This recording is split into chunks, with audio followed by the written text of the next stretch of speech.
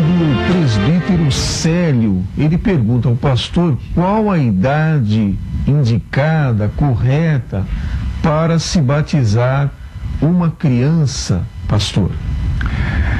Queremos dizer que não há data fixada para batizar uma criança na Bíblia Sagrada.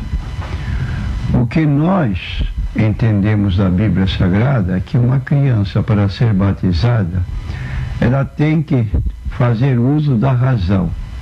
Fazer uso da razão é aquela escolha que a, a própria criança que é levada por seus genitores à igreja, ela vai assimilando os ensinos da Bíblia, maiormente na classe específica para crianças de idade eh, menores ou crianças já de uma idade um pouquinho maior, ela vai assimilando aquelas palavras, vai aceitando interiormente e às vezes se dirige aos pais, eu gostaria de me batizar, quando não os próprios pais que aconselham seus filhos por ver porque veem que eles estão envolvidos com as coisas de Deus, levá-los ao batismo. Então é preciso que haja esta tendência, porque há crianças que são desligadas, indiferentes, não querem saber de nada, não tem uma Bíblia, não lê, não ora. Então essas aí tem que esperar mais até haver a conversão dentro do, da idade da criança para se envolver as coisas de Deus. Agora, num aconselhamento, desde que a criança, para poder batizar-se, ela deve ter capacidade do uso da razão, eu levo em consideração a resposta do, do homem poderoso, vamos assim dizer, da rainha de Candácio, uma espécie de ministro da fazenda, que foi a Jerusalém para adoração, porque era adorador judeu, mas quando ouviu falar de Cristo, estava lendo o profeta Isaías, no capítulo 53, ele obteve informações do, do mensageiro de Deus e, em seguida, depois de alguma caminhada, ele perguntou: Senhores, o Senhor, eis aqui água, que impede que eu seja batizado? Então ele creu incontinente, ia para uma terra distância, sua pátria, e ele queria ir já com o batismo. E a resposta foi dada: É lícito se crês de todo o coração e a resposta dele veio rápida: creio que Jesus Cristo é o Filho de Deus. Bom, então estava apto. Ele fez a confissão de Jesus como Filho de Deus, mais ou menos dentro do estilo que fazemos quando realizamos batismo aqui em nossa igreja. Fulano de tal, irmão fulano de tal, você tem recebido o Senhor Jesus Cristo como seu Senhor e Salvador? A resposta tem que ser audível. Sim. Você promete seguir a Cristo todos os dias da sua, da sua vida? Sim. De acordo com a tua confissão e o mandamento de Jesus Cristo, te batizamos em nome do Pai, e do Filho e do Espírito Santo. De modo que a idade para se batizar fica a critério do pastor da igreja, desde que faça um uma pesquisa nesse particular. Qual é a idade da criança? Ela tem, já usa razão, perguntar aos genitores. Ela tem, tem uma tendência para ler a Bíblia, para frequentar a escola bíblica dominical, para estar envolvida nas coisas de Deus. Se tiver, é uma boa candidata para o batismo porque com o passar dos dias, dos meses, anos, ela vai adquirindo equilíbrio na vida espiritual. A próxima pergunta é da consulente Joelita, da Assembleia de Deus, Ministério de Madureira. Pergunta ao pastor por que as mulheres não podem usar tranças, pastor. É, eu quero dizer à nossa irmã consulente que eu não leio na Bíblia que as mulheres não possam usar trans. As mulheres usavam tranças nos tempos antigos porque seus cabelos eram compridos. Às vezes passavam do ombro. Então aquelas tranças davam uma posição menos comprida. E havia pessoas, mulheres que eram ricas. E essas mulheres que eram ricas enfeitavam suas tranças em dias solenes com, com, com enfeites de ouro, de prata, é, coisas assim que chamavam a atenção dos participantes. Então, as tranças eram enfeitadas, trazendo uma atenção especial dos que estavam por perto. Nesse particular é que o apóstolo Paulo aponta que o enfeite delas não deve ser é, no exterior a ponto de chamar a atenção, mas numa forma mais humilde que se caracterize por uma pessoa que segue a Cristo. Então não vejo empecilho de uma irmã usar trança. Pelo contrário, eu vejo que há até certa, certa rejeição. E às vezes jovens mesmo não usam tranças, mas deixam tranças para as mulheres já maduras, é, e que essas mulheres então já não têm muita pretensão de casamento, porque passaram da idade, ou são casadas, já têm a sua vida regularizada, de modo que aí está a posição. Não vejo razão para esta proibição de usar trans. Vejo o que se dava nos tempos passados de pessoas economicamente bens que usavam tranças com ouro, com aquelas pequenas pedrinhas que abrilhantavam a cabeça da mulher, da jovem, e isso tudo era um chamamento para a atenção da mulher que queria que se fosse apreciada. A próxima pergunta é do consulente Rodrigo. Ele pergunta ao pastor o que a Bíblia defende: o livre-arbítrio ou a predestinação? Bom, nós queremos dizer ao nosso ouvinte Rodrigo que existem dois pontos divergentes. Temos falado aqui pontos divergentes são que os que creem no livre-arbítrio são chamados arminianos, porque o fundador ou o que estabeleceu esses pontos à luz da Bíblia Sagrada tinha esse nome, era um teólogo.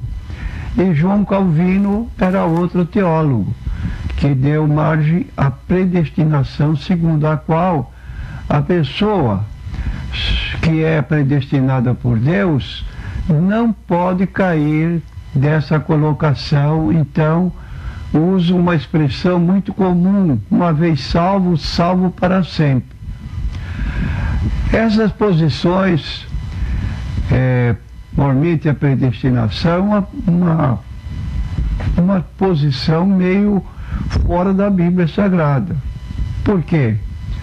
Porque nesse campo da predestinação se fala que Jesus fez em favor do ser humano uma expiação limitada.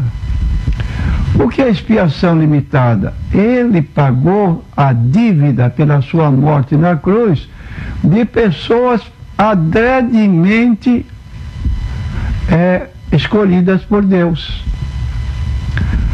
De modo que as pessoas que não foram escolhidas, no caso os arminianos, essas pessoas não terão oportunidade de salvação. Não foram predestinadas, não têm o apoio da expiação que Cristo realizou no Calvário, então ficam de lado. Então nós queremos reparar essa posição, porque a Bíblia declara que a morte de Cristo foi em favor de toda a humanidade. Está no livro de 1 João, capítulo 2, versículo 2. Jesus, Jesus, ele fez uma obra de redenção por toda a humanidade. E ele pode salvar perfeitamente qualquer pessoa que se chegue a Deus, vivendo sempre para interceder por eles. Então, todos nós temos esta oportunidade. Mas um texto ainda que é muito corrente é o texto de João 3,16. Deus amou o mundo. O que significa a palavra mundo? Deus amou o mundo. O mundo é a humanidade. Toda a humanidade. Nós somos hoje perto de 7 bilhões e meio de pessoas. Todas estas pessoas foram objeto do amor de, de Deus que entregou seu Filho Jesus Cristo por esta grande multidão. Mas se Cristo não pagou a dívida pela sua morte na cruz, por toda a humanidade, apenas por pessoas seletas, escolhidas por Deus de antemão, então essas pessoas não podem nem tentar a salvação porque são recusadas. Então eu digo ao Rodrigo que a Bíblia dá margem a pensar de dois lados, porém eu pessoalmente tenho escolhido o arminianismo porque considero que toda pessoa tem oportunidade de salvação e quando vamos falar com qualquer pessoa não perguntamos se ela é eleita ou não. Falamos porque a Bíblia diz: ide por todo mundo, pregar evangelho a toda criatura. Quem crer e for batizado será salvo, mas quem não crer será condenado. A próxima pergunta é NQI Mulher. A nossa consulente ligou, deixou a sua pergunta, mas não quer se identificar. Ela pergunta ao pastor se o Senhor Deus, em Sua palavra, autoriza a cremação. Então, a cremação hoje, pastor, ela tem apoio bíblico? Eu quero dizer que a Bíblia não condena a cremação ela não se reporta a essa particularidade. O que nós lemos na Bíblia, a preocupação dos homens de Deus, no caso específico, Abraão, quando perdeu a sua mulher, isto é, ela morreu, foi-lhe oferecido um campo. Ele procurou um campo para sepultar a sua esposa e o lugar que ele escolheu tinha dono. E o dono era amigo dele e ofereceu para ele o campo, o, o lugar para sepultamento da esposa, sem cobrar nada. Mas ele não aceitou. Você vai me dizer o preço dessa é, desse campo, porque eu quero comprar. E a, o dono, com resistindo, mas fez a vontade de Abraão, que pagou um valor X e o que faz ele então daquele, daquela, aquele lugar, daquele terreno que serviu de base para o sepultamento da sua esposa? A família dele posteriormente foi colocada ali, no mesmo lugar. Jacó, que era o patriarca, um dos filhos chamado José, também foi colocado ali naquela, naquele próprio campo. De modo que eu quero dizer à nossa consulente que se a família honra o parente falecido, ela deve dar uma, um sepultamento digno. Uma pessoa que procura a cremação é para se ver livre o mais depressa possível do corpo não quero assumir responsabilidade de comprar uma campa para vir todo o período especial de aniversário do falecido, trazer ali a presença dela como honrando aquela pessoa falecida porque tinha um amor, um sentimento de gratidão, mormente os pais quiseram pelos filhos, se for o caso, ou a mamãe, uma, uma, uma pessoa do coração. É o que eu digo para a nossa irmã, que assim deve proceder é, para uma pessoa de casa. Agora, sempre há controvérsias, mas não deve ser causa para divisão, porque afinal de contas, os que eram favoráveis ao sepultamento, como os que eram desfavoráveis, são parentes que não devem dividir a família por questão é, de preferência. Agora, quer honrar o falecido, a mãe, o pai, pessoa querida, uma criança, por exemplo, então sepulte sua criança, sepulte seu pai, sepulte sua mãe com honras de família. Do contrário, cada qual decide como quer. A próxima pergunta é do consulente Roberto, da Igreja Palavra de Vida. Ele diz aqui que assistiu uma reportagem do programa Fantástico e ali foi falado sobre padres exorcistas. E ele viu também é, o falar em línguas estranhas. Ele quer saber se essas línguas são falsas ou verdadeiras, pastor. Eu quero dizer que é possível é, fantasiar uma demonstração de línguas estranhas. Como também elas são reais. Por exemplo, nós temos no capítulo 1 e 2 do livro de Atos dos Apóstolos que Jesus disse para os seus, disse para os seus seguidores que ficassem em Jerusalém até que do alto fosse revestido de poder. Ele ficou 40 dias na terra, depois de ressuscitado, dando provas insofismáveis da sua ressurreição, aparecendo a cada pessoa que era discípulo, parentes, etc.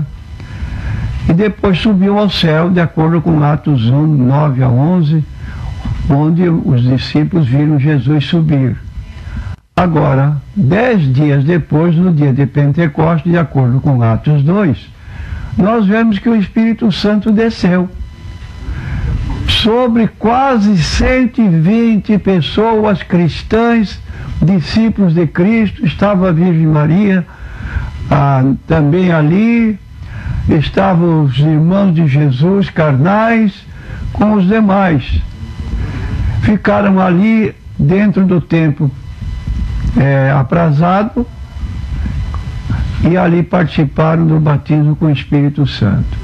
Então, essa é uma situação bíblica. Agora, pode ser falsas línguas?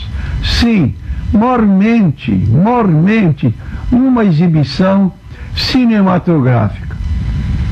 Essa, essa realização, celebração, do batismo com o Espírito Santo não é para ser objeto de, de participação numa televisão, é um ato secreto que deve ser feito numa igreja, é, com pessoas da mesma grei, ou seja, pessoas que também creem, porque fazer isso numa, numa, numa televisão, os telespectadores às vezes estão zombando disso que estão vendo.